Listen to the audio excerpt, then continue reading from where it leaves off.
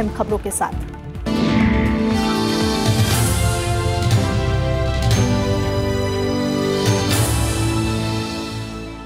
लोकसभा चुनाव के चौथे चरण में नौ राज्यों की इकहत्तर सीटों पर आज शाम चुनाव प्रचार थम गया। इस दौर में 12 करोड़ उनासी लाख से ज़्यादा मतदाता और 945 उम्मीदवार हैं। चुनाव आयोग ने शांतिपूर्ण और सुचारू मतदान के लिए पुख्ता इंतज़ाम किए हैं। जिला मुख्यालयों में मतदान कर्मियों के लिए ईवीएम और चुनाव सामग्री मुहैया कराने और मतदान केंद्रों तक पहुँचाने के काउंटर बनाए गए हैं।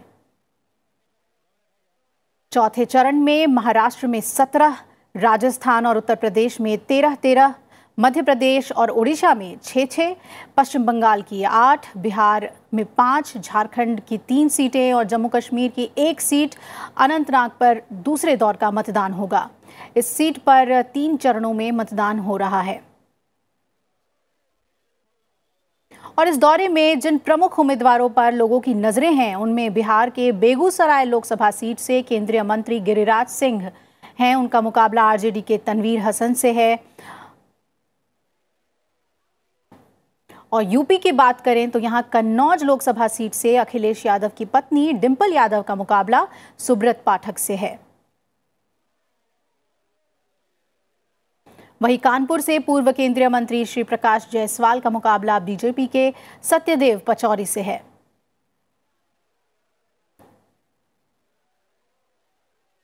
उधर पश्चिम बंगाल में आसनसोल लोकसभा सीट पर स्टार दिख रहे हैं। टीएमसी की मुनमुन सेन हैं तो बीजेपी के उम्मीदवार बाबुल सुप्रियो हैं। दोनों की टक्कर बताई जा रही है आसनसोल सीट से। वहीं कांग्रेस की प्रिया दत्त का मुकाबला बीजेपी के पूनम महाजन से है मुंबई में। मुंबई उत्तर मध्य सीट से बीजेपी और कांग्रेस के बीच मुकाबला, पूनम महाजन बीजेपी से और प्रिया दत्त कांग्रेस से। ओडिशा विधानसभा चुनाव के चौथे चरण के लिए भी आज शाम चुनाव प्रचार थम गया और इस दौर में इकतालीस विधानसभा सीटों पर 29 अप्रैल को मतदान होना है और नतीजों का ऐलान 23 मई को होगा।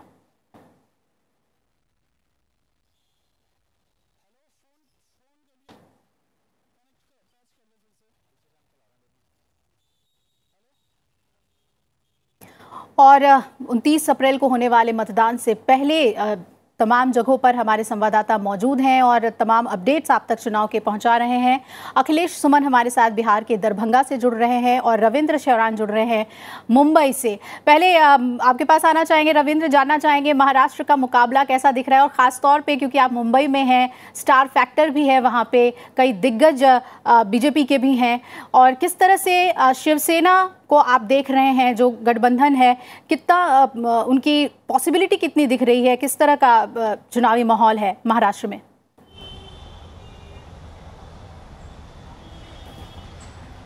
जी, अभिलाषा, देखिए, इस चरण में जो 17 सीटों पर महाराष्ट्र में चुनाव हो रहा है, ये अंतिम चरण है। इसके बाद महाराष्ट्र के तमाम सीटों पर चुनाव संपन्न हो जाएगा। इसमें एक बड़ा चंक जो है वो मुंबई क्षेत्र से है। मुंबई की हालाँकि शहर की छः सीटें हैं और इनमें अगर हम लोग कल्याण भिवंडी और थाने की सीटें जोड़े तो कुल नौ सीटों पर यहाँ पर इस इलाके में चुनाव है।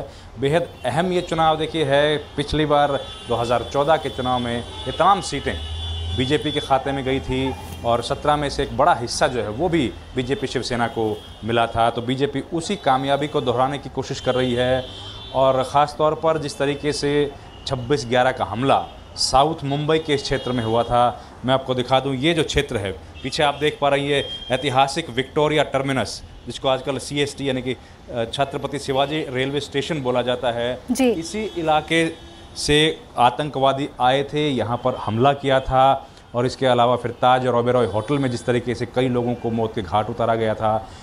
इसलिए इस इलाके के लिए ख़ासतौर पर मुंबई एक लंबे अरसे से आतंकवाद का दंश कई बार झेल चुकी है 91 में ब्लास्ट हुए उसके बाद कई बार इस तरह का हो गया। तो इस इलाके में आतंकवाद राष्ट्रवाद ये दोनों बड़े अहम मुद्दे हैं। प्रधानमंत्री नरेंद्र मोदी ने भी जब भाषण कल यहाँ पर मुंबई कॉम्प्लेक्स में दिया था उन्होंने कहा था कि जिस तरीके से पिछली सरकारें 26 ग्यारह के हमले के बाद उसका माकूल जवाब नहीं दे पाई उन्होंने हम्म। खाली मुख्यमंत्री को बदला गृह मंत्री को बदला लेकिन जिस तरीके से पुलवामा में हमला हुआ है उसके बाद भारतीय सेना ने एक सशक्त जो जवाब है वो पाकिस्तान के घर में घुसकर वो जवाब दिया है तो अब जनता को ये बात डिसाइड करनी है प्रधानमंत्री ने कहा कि वो पिछले यूपीए सरकारों का नेपोटिज्म जो था जो करप्शन था वो लेना चाहते हैं उसके लिए वोट करना चाहते हैं या फिर एक सशक्त सरकार जो कि जनता के हित में काम कर रही है लगातार विकास के काम कर रही है पाँच साल में जो विकास के काम हुए हैं उनको आगे बढ़ाना चाहती है। देखिए स्टार्स की जो आपने बात की मुंबई के अलग अलग क्षेत्रों में यहाँ पर हम लोग खड़े हैं यहाँ पर मिलिंद देवड़ा जो कांग्रेस के मुंबई के अध्यक्ष भी हैं उनका मुकाबला अरविंद सावंत जो सिटिंग एमपी है उनसे है उर्मिला मातोंडकर वो मुंबई नॉर्थ जो है वहाँ से चुनाव लड़ रही हैं। उनका मुकाबला गोपाल शेट्टी जो कि एक बड़े कद्दावर नेता हैं उनके साथ है। और प्रिया दत्त मध्य मध्य उत्तर मुंबई जो है उनका मुकाबला पूनम महाजन का बिल्कुल रविंद्र तो कई हाई प्रोफ़ाइल सीट्स यहाँ पर हैं। हाई प्रोफ़ाइल सीट्स हैं और मुंबई के जो अहम मुद्दे हैं। उसके बारे में आपने बताया कि सुरक्षा एक बड़ा मसला है। आ, हम आपको बता दें कि नवविक्रम भी हमारे साथ जुड़ गए हैं उत्तर प्रदेश से उनका रुख करेंगे। आ, लेकिन इस वक्त हम चल लेते हैं दरभंगा। अखिलेश वहाँ मौजूद हैं। अखिलेश आपसे जानना चाहेंगे कि किस तरह का मुकाबला है? इस चरण में पाँच सीटें हैं और अगर हम गंगा पार की बात करते हैं, दरभंगा की, बेगूसराय, ये जितनी भी सीटें हैं, यहाँ पर किस तरह का चुनावी समीकरण है और स्थानीय मुद्दे क्या हैं?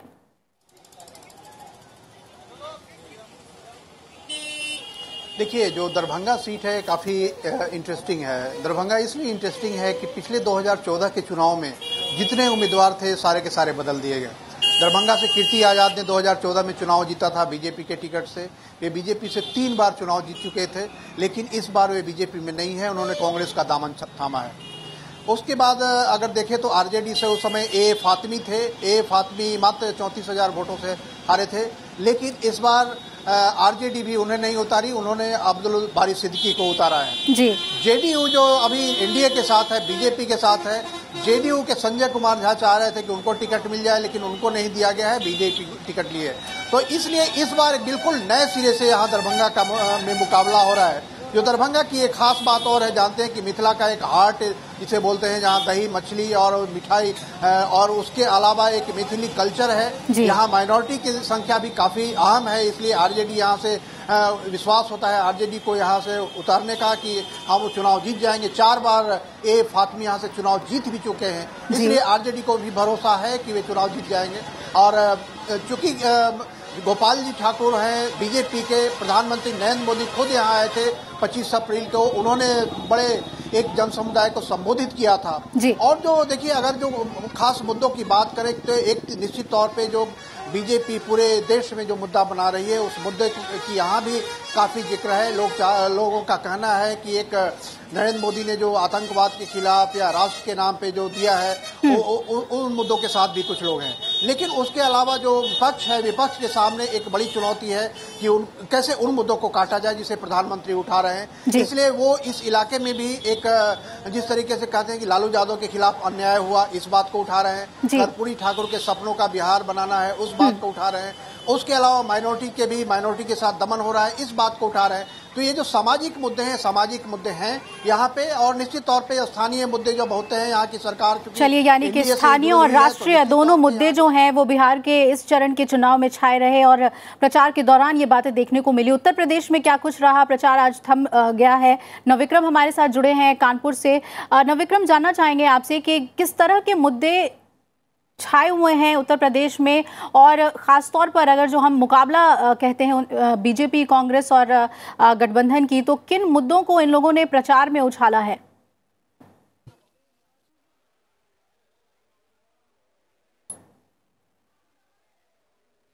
देखिए अभिलाषा अगर गठबंधन की बात करें तो गठबंधन में जिस तरीके से अखिलेश यादव ने शुरुआत में नारा दिया, था सामाजिक न्याय से महापरिवर्तन वो सामा, लगातार सामाजिक न्याय को लेकर अपने अपना चुनाव लड़ रहे हैं लोगों के बीच जा रहे हैं ख़ास तौर पर अपना काडर वोट जो है। वहीं बीजेपी अपने राष्ट्रवाद के मुद्दे पर लगातार कायम है और अभिलाषा आपको बताना चाहूँगा हम अगर बुंदेलखंड जैसे इलाके की बात करें या कानपुर, मैं अभी जिस जगह जहाँ कानपुर देहात के एक क्षेत्र में मौजूद हूँ, यहाँ कुछ दिनों पहले बिजली नहीं थी। आज के दौर में स्ट्रीट लाइटें हैं और बाकी बिजली के अलावा काफ़ी कुछ मूलभूत सुविधाएँ हैं। तो स्थानीय हालाँकि स्थानीय मुद्दे यहाँ इस बार इस चुनाव में खासतौर पर उतने हावी नहीं दिखाई दे रहे हैं जितना कि राष्ट्रीय मुद्दे। यहाँ पर अगर आ, किसी भी मतदाता या फिर सामान्य नागरिकों से अगर बात की जाए तो वहाँ लगातार ये दिखता है कि वो लोग एयर स्ट्राइक का मुद्दा उठाते हैं। वो लोग सीमा सुरक्षा का मुद्दा उठाते हैं।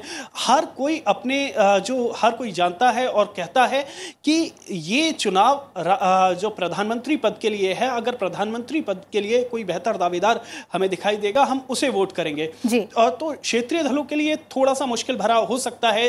आने वाले आने वाले दिनों में जितने भी चरण हैं उतने मतदान क्योंकि ये लगातार पहले चरण से हम लोग ट्रेंड देख रहे हैं उत्तर प्रदेश में। और इसके अलावा देखिए बुंदेलखंड के अगर जो जो बीते कई सालों से मुद्दे चल रहे हैं।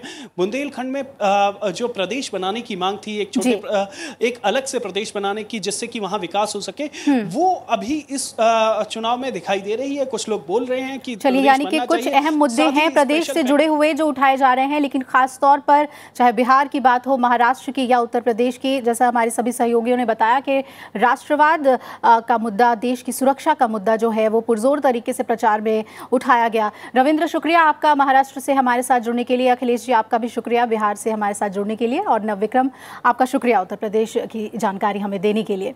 इधर लोकसभा चुनाव के चौथे चरण के प्रचार का आज आखिरी दिन था तो प्रधानमंत्री नरेंद्र मोदी ने आज उत्तर प्रदेश के कन्नौज और हरदोई में जनसभा को संबोधित किया। इन दोनों जिलों में उनतीस अप्रैल को चौथे चरण में मतदान होना है। प्रधानमंत्री ने कहा कि कांग्रेस, सपा, बसपा का बस एक ही मंत्र है, जातिवाद के ज़रिए जनता को लूटना। प्रधानमंत्री ने कहा कि महामिलावट वालों को ऐसी सरकार चाहिए जो मजबूर हो, ताकि ये मनमर्जी कर सकें, लूट मचा सकें। हरदोई के बाद प्रधानमंत्री ने सीतापुर में भी जनसभा को संबोधित किया। सीतापुर में पाँचवें चरण में 6 मई को मतदान होना है और इस मौके पर प्रधानमंत्री ने कहा कि सत्ता पाने के लिए जो विपक्ष के नेता एक हो गए हैं, लेकिन मंच साझा करने को तैयार नहीं दिखते। आज एक भी सभा में इनको इकट्ठा देखा क्या आपने? कांग्रेस के नेता के साथ और किसी दल के नेता को देखा क्या? हिंदुस्तान के किसी कोने में देखा क्या? महाराष्ट्र में शरद पवार और राहुल को साथ देखा क्या? ये सब एक दूसरे का मुँह देखने को तैयार नहीं है। कांग्रेस सपा बसका को समझ नहीं आ रहा है कि वोट मांगे तो किस मुद्दे पर मांगे। जात पात के समीकरण से अपना वजूद बचाने का जो खेल इन्होंने रचा था, वो इन पर ही भारी पड़ गया है।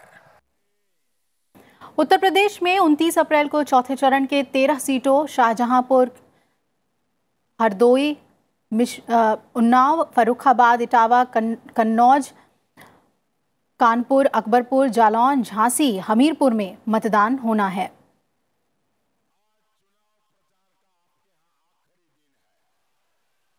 उधर बीजेपी अध्यक्ष अमित शाह ने आज ओडिशा के मयूरभंज और जाजपुर में जनसभाओं को संबोधित किया। चौथे चरण में 29 अप्रैल को ओडिशा में छह लोकसभा सीटों पर वोट डाले जाएँगे। इसमें मयूरभंज, बालासोर, भद्रक, जाजपुर, केंद्रपाड़ा और जगत सिंहपुर सीट शामिल है। साथ ही ओडिशा में विधानसभा की 41 सीटों के लिए भी 29 अप्रैल को मतदान होगा। जाजपुर में एक जनसभा को संबोधित करते हुए अमित शाह ने कहा कि पुलवामा हमले का जवाब सिर्फ़ मज़बूत सरकार ही दे सकती थी। हमने पाकिस्तान के घर में घुसकर पाकिस्तान को करारा जवाब दिया। नरेंद्र मोदी जी ना, वो छप्पन छाती वाला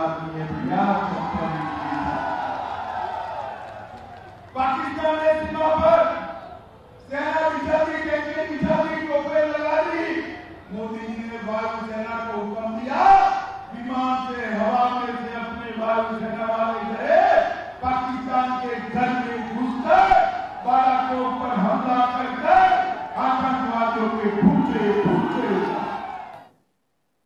और इससे पहले बीजेपी अध्यक्ष अमित शाह ने झारखंड के पलामू में भी जनसभा को संबोधित किया।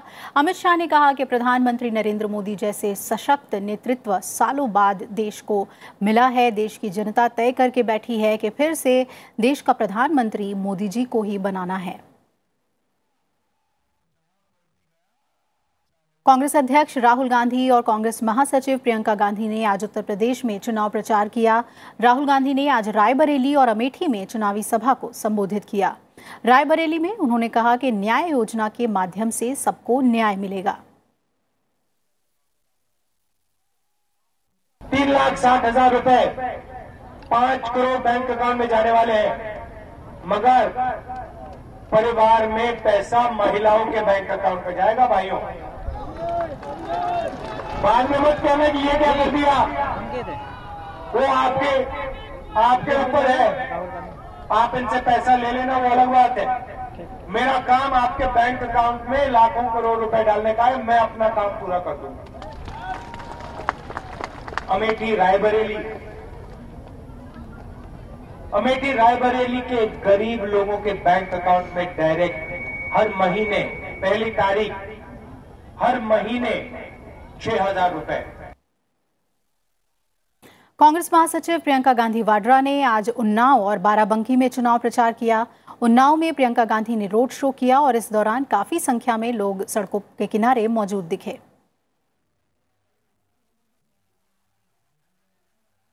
मैं आपसे कहना चाहती हूँ कि अगर कोई नेता हमारी प्रधान हमारे प्रधानमंत्री की तरह आपके सामने आकर कहे कि आपके लिए बहुत बड़े बड़े काम कर कर आपके आप पर कोई एहसान किया है उन्होंने तो ये गलत बात है।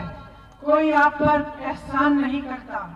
आपके अधिकार हैं, आपके हक हैं।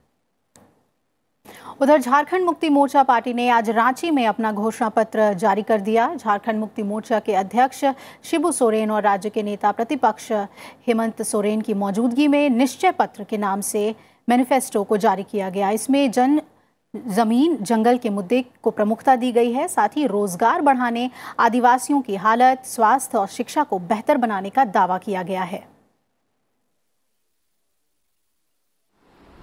गरीबों का पेट कैसे पले, रोज़गार कैसे हो,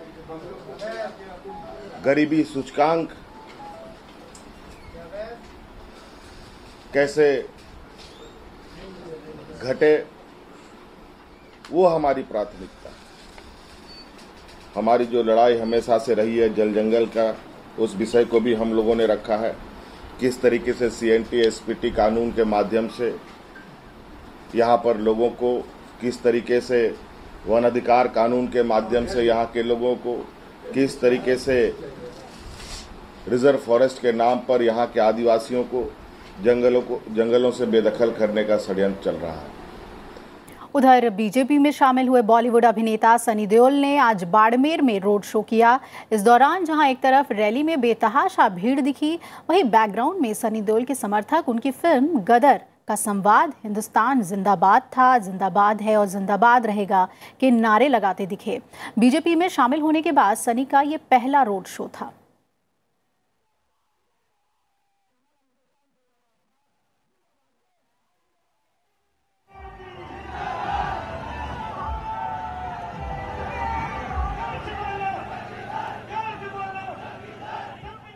भारतीय जनता पार्टी उम्मीदवार गौतम गंभीर एक नई मुसीबत में फंस गए हैं। ईस्ट दिल्ली में बिना इजाज़त रैली करने के मामले में चुनाव आयोग ने गौतम गंभीर के खिलाफ एफआईआर दर्ज किया है। चुनाव आयोग के आदेश के बाद दिल्ली पुलिस ने ये कार्रवाई की है।